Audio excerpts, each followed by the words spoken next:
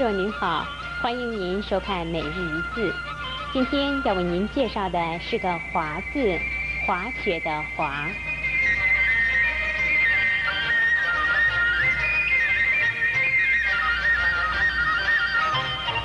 滑字有两种读音，两种解释。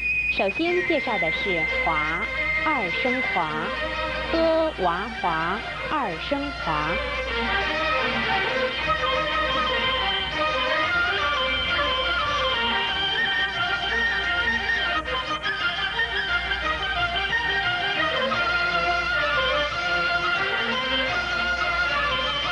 滑是往来便捷、毫无凝滞的意思。凡物体因光滑而攀附不住或运行流利，都可以叫做滑。如天雨路滑，开车要格外小心。滑石是一种柔软滑腻的石质矿物。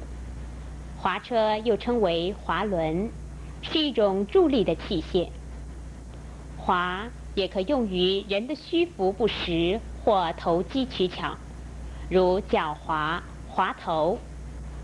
华也是姓氏，如明朝有名医叫华寿，也是地名。现在的河南省有华。华的第二个读音是鼓，歌舞鼓三声鼓。鼓是扰乱的意思。我与近语有，则不如志不仁以古其中，意思是不如在中间做些不仁的事去扰乱它。而鼓鼓则是泉水涌流的样子。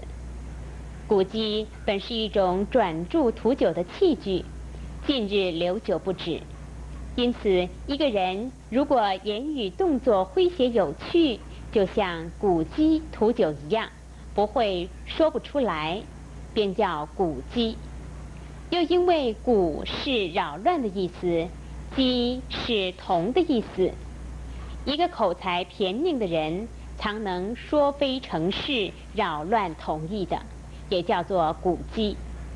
只是古鸡一词，现在多已读成滑稽，如改念古鸡，反而不习惯了。但它的本意，我们还是应该明了才对。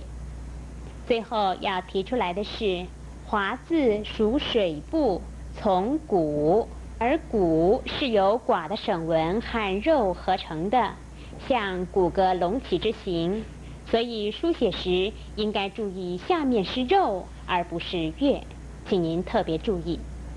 今天的每日一字就为您介绍。